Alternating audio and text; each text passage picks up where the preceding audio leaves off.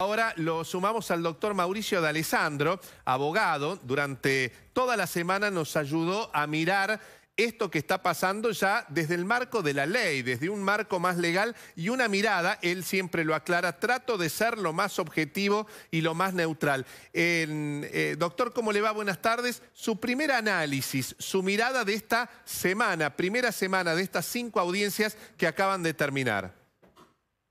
Hola Mario, buenas tardes. Lo resumió muy bien Burlando cuando lo escuchábamos hoy.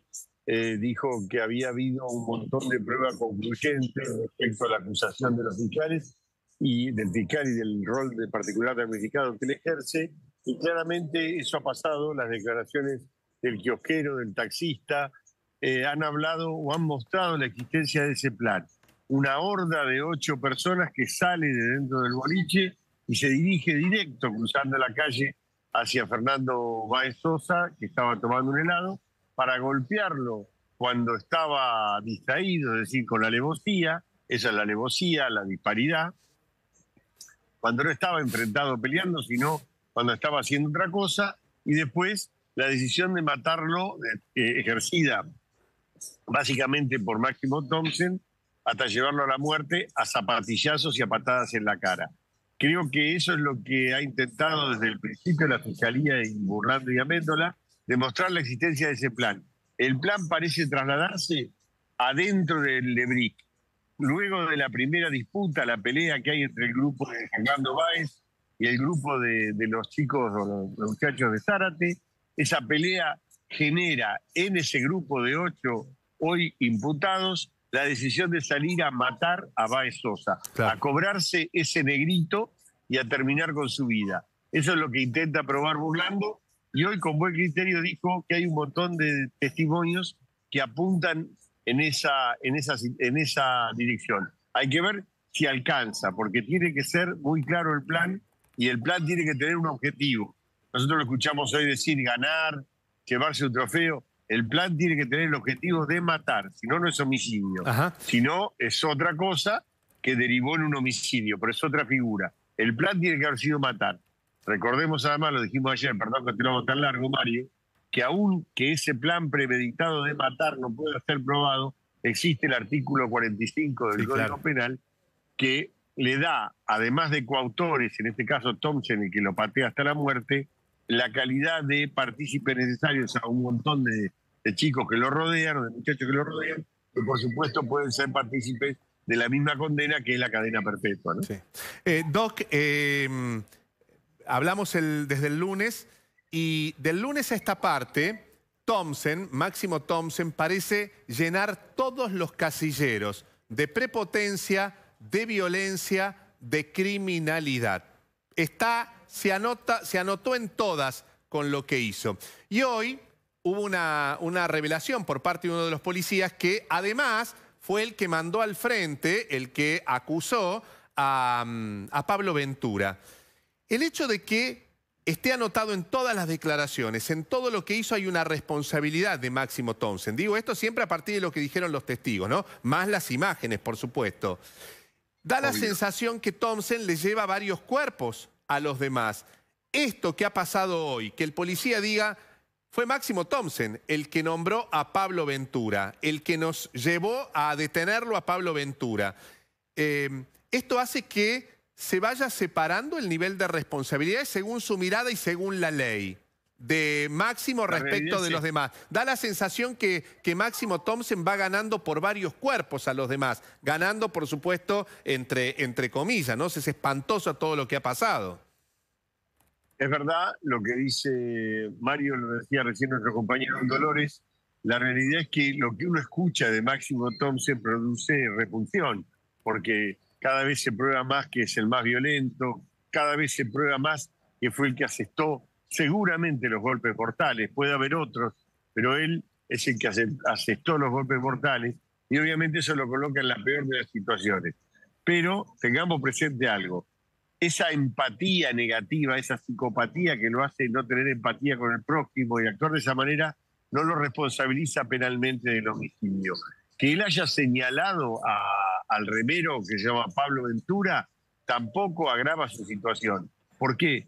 porque para la ley argentina uno puede mentir, puede defenderse mintiendo y puede decir que las cosas no fueron como realmente fueron para mejorar su situación procesal. Que él haya, de hecho pasa hoy en todas las causas, generalmente, vamos a suponer, hay un menor, los mayores dicen el que te disparó es el menor, inmediatamente tratan de descargar en el que no tiene responsabilidad penal y no por eso agravan su situación. El hecho de lo que él dijo genera aún más bronca en la sociedad, aún más bronca en todos nosotros, pero no le genera responsabilidad. Thompson, como dijiste vos muy bien, ha comprado todos los boletos porque es el que aparece en la gran mayoría de los testimonios, pateando, golpeando, llevando a Fernando Baez Sosa hacia la muerte y el que lo hace claramente en el marco de un deseo previo, premeditado, de cobrarse la vida por odio racial o por, o por odio o por discriminación o por algo que tenía adentro antes de la pelea que termina con la vida de Fernando Baez Aunque nos duela y nos espante, hemos escuchado las cosas más terribles esta semana. Para la semana que viene está prevista la declaración de los peritos que trabajaron sobre el cuerpo de Fernando Baez Sosa, cuerpo destrozado, cabeza destrozada, y que determinaron las causas de la muerte. ¿Qué peso tiene en un juicio y sobre todo en la decisión de un tribunal el trabajo y la determinación y la declaración de los peritos que trabajaron sobre el cuerpo de la víctima. Los peritos, los cadáveres hablan, Mario. Lamentablemente el cadáver habla. El cadáver nos va a decir el grado de brutalidad, si esto fue un golpe que, por ejemplo, podría haber ocurrido que Fernando al caer se haya golpeado la nuca contra un, cordón de la vereda, que la causa de la muerte haya sido preteritencional, es decir, que haya habido un golpe que no era hábil para matarlo, pero que al caer y golpearse contra algo se, pueda, se pudiera haber muerto. O, por ejemplo, lo que ya soslayó la defensa de los imputados, que dice, le dice a la chica que le hizo el RCP que le quebró una costilla y da a entender que no se hizo bien el procedimiento del RCP y que tal vez si se hubiese hecho bien la vida de, de, Fernando Baez de Sosa no se hubiese terminado. Es decir, que la pericia nos va a mostrar y le va a mostrar al tribunal, va a poder concatenar las declaraciones, la imputación, la actitud que tuvo Máximo Thompson y los resultados de sus patadas y su violencia. Lo va a poder unir y claramente lo, va a poder, eh, va a poder eh, celebrar, digamos, un relato coherente que lleve a la condena de por lo menos tres o cuatro coautores y el resto con participación necesaria. Claro. Eh, Doc, hoy se produjo un momento de, mucho nerviosismo, este, se puso muy nerviosa una de las testigos, Andrea, la, señora que los vio desde un balcón del hotel y escuchó a las aproximadamente 5 menos cuarto de la mañana cómo pasaban para la casa y finalmente fue este, la que advirtió a la policía que estaban por allí cerca. Eh, ¿Qué pasó en el juicio? Eh, la mujer declara, cuenta lo que pasó y en un momento, en la descripción que hace, un término que ella utiliza no coincide con el término utilizado en la declaración testimonial apenas ocurrió el hecho, porque fue una de las primeras en declarar. La defensa, esto lo contó no solo la misma testigo, sino también nuestra compañera Paula Bernini, eh, la defensa de los, de los de los, de los imputados, aprovechó ese momento para hacer justamente un cuestionamiento que el tribunal, el tribunal no hizo lugar, porque decía, consideró que no había una contradicción.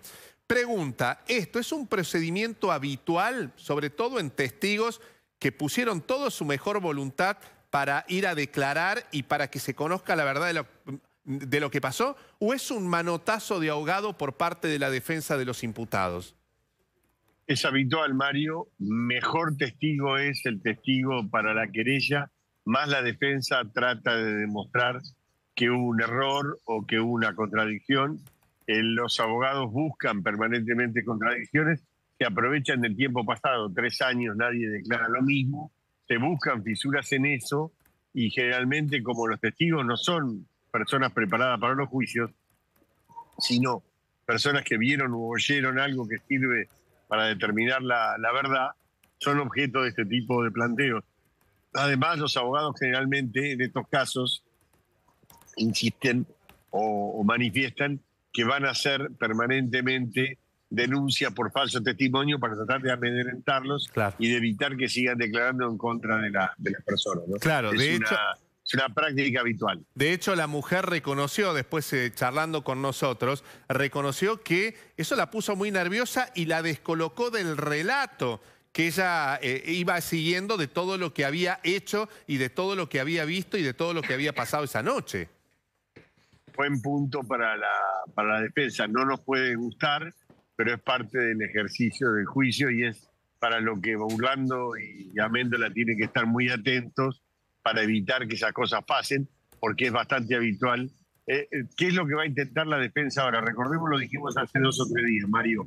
Van a esperar hasta que falten una o dos jornadas, cuando toda la prueba se haya producido, van a tener contradicciones y situaciones donde alguno de los ocho no aparecen claramente involucrados en el homicidio. Ahí van a romper este bloque que nosotros llamamos el pacto de silencio, pero en realidad es un pacto de estrategia, es una estrategia de defensa y van a despegar a alguno de los, de los ocho imputados diciendo de que todo lo que se colectó en el expediente no es nada, que por lo tanto tienen que ser absueltos. Y se van a jugar a eso, a, salvar cuatro por lo menos de los ocho de la, de la cadena perpetua. ¿Usted cree que hay cuatro usted cree que con lo que usted cree que con lo que está pasando, digamos, con el como estamos viendo todo esto, es natural un desprendimiento de, de algunos de los testigos de este bloque monolítico eh, y, de pacto de silencio? ¿Que es como una decantación natural? No hay un pacto de silencio, hay una estrategia de defensa que tiene como condimento, como táctica, la estrategia es llevar hasta el último momento las pruebas y una vez que se demuestre si hay muchas o pocas pruebas, despegar a alguno de los miembros de la imputación. Ok, ¿qué pasa? Esa es la estrategia, la táctica es callarse la boca. Claro, ¿qué pasa si yo como imputado soy parte de ese bloque de los ocho, por supuesto tengo el mismo abogado, y me quiero, a ver, le digo en un término criollo, ¿no? Me quiero cortar solo. Yo sí quiero declarar, yo sí quiero romper ese, esa estrategia de defensa o ese pacto de silencio. ¿Lo tengo que consultar con el abogado? ¿Me corto solo? ¿Cómo es el procedimiento o cómo debería ser el procedimiento teniendo en cuenta cómo se está dando la defensa y la actuación de los imputados? Probablemente hay que ver cuál es el código tumbero que ellos desarrollaron durante tres años de se desarrollan lealtades y cuestiones que, que son diferentes, pertenecen a la vida carcelaria, es otra vida. Estas personas desde hace tres años tienen otra vida de tener una ducha caliente, comparten cinco minutos un baño, de tener comida todos los días, comparten un chocolate, se generan códigos tumberos. Pero más allá del código tumbero que tengan entre ellos, la realidad es que el que quiera declarar también tiene que tener cuidado de que los otros siete no se junten y digan que lo pateó fue él. Porque acá sí podría pasar eso, que alguno, vamos a suponer, que está filmando, hace rato que se quiere despegar, pero tiene un temor bastante sensato, que todos los demás van a decir, el que dijo que había que ir a matarlo fue este, es decir, hay formas de que los otros siete del que se desenganchó lo terminen comprometiendo o lo terminen complicando. Por lo tanto, es una decisión que tienen que tomar entre los ocho. Para mí, los ocho han hecho un plan, sí un plan ahora de salida. Y es, se, va, se va a ver cuando falten dos o tres audiencias que se van a enganchar algunos de ese bloque y vamos a poder ver la verdadera historia o lo que ellos han pensado decir durante estos tres años. Y, siguiendo el punto que usted trae, porque que los demás, si alguno se corta solo, dos se cortan, ¿no? Eh, de ese bloque, y los demás dicen, no, fue él el que lo mató, están las imágenes que contrastan lo contrario. O sea, hay pruebas, evidencias y testigos que demuestran lo contrario. Pero pienso, mientras lo escucho, también puede ser que lo señalen como el autor intelectual. Esto podría ocurrir si lo que se ve en las imágenes es, le pegamos nosotros, pero a nosotros nos mandó Sofía Terrile. Obvio, a que, digamos, eh, inculparlo como el autor intelectual de esto, que eso no se puede probar porque no, no hay imágenes ni hay testimonios que lo puedan probar. Porque, porque acá, Mario, lo que, lo que yo creo que queda claro es que el plan eh, premeditado no tiene ni dos meses, ni tres meses, ni dos semanas, ni, tiene una hora o menos. Ellos tienen una pelea dentro del EBRIC y ahí deciden ir sobre la víctima y matarla. Puedes, es decir, el plan tiene que contemplar que lo quisieron matar porque no basta que le quisieran pegar nada más. Pero lo que está claro es que adentro del EBRIC se generó un plan que de mínima fue ir a golpear a, Fernando Baezosa, a cobrarse el negrito. Empieza a tomar, después de las declaraciones, eh, forma ese, ese plan que describía Burlando y que quiero ser sincero, cuando empezó me parecía, no digo traído de los pelos, pero muy difícil de probar. Pero hoy, después de la tarea de Burlando, Améndola y la Fiscalía, empieza a estar claro. Adentro del EBRIC, esos ocho personas hicieron un plan. Habrá que acreditar si ese plan fue matarlo o solo golpearlo. Pero está claro que hicieron un plan, está claro que lo fueron a golpear mientras tomaba un helado, está claro que le pegaron y está claro que los ocho participaban. Ahora, hay que ver el grado y cuál es el compromiso de cada uno de ellos con la muerte. Y ahí empieza a jugar lo que bien dice Mario Masachesi. Si los otros seis se juntan y dicen, estos dos fueron los que dijeron, como ah. era más grandote Máximo, lo mandaron a matar a Máximo, pero el plan lo hizo Pertusi, por así decirlo, tomando cualquier nombre, y entonces sí la causa toma un vuelco en contra de él. Nadie quiere ponerse a eso. Por eso, cuando se empiecen a desenganchar, va a ser con la, con la conformidad de todos y cuando todos hayan escuchado y comprendido, por ejemplo, Thompson, que no tiene forma de escaparse de la condena a cadena perpetua. Claro, es decir que en este momento, y ya para cerrar, no le conviene, por lo menos hasta ahora, ni a la defensa ni a la querella que se rompa ese bloque. Porque por un lado se está demostrando cada vez más que fueron todos y por otra parte, en el caso de la eh, de la eh, defensa de los imputados mantiene ese bloque como para poder eventualmente diferenciar distintas responsabilidades.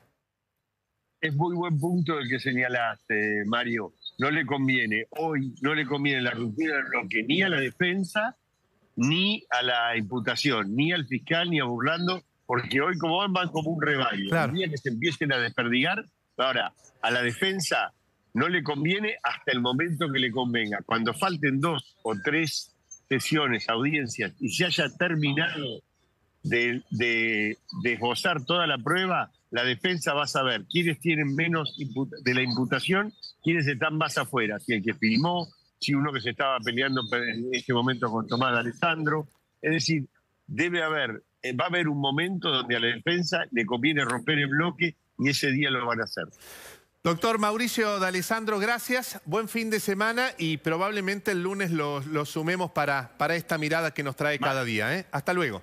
Gracias, Mario. Gracias, Mario. Si me permitís, he visto que Santiago Maratea ha hecho una colecta para que los padres de Fernando Báez Sosa puedan seguir el juicio atentamente, han dejado de trabajar y no tienen dinero.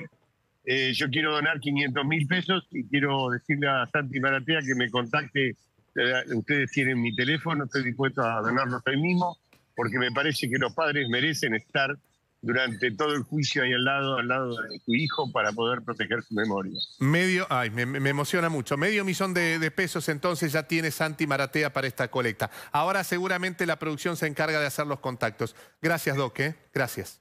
Hasta luego, gracias a ustedes.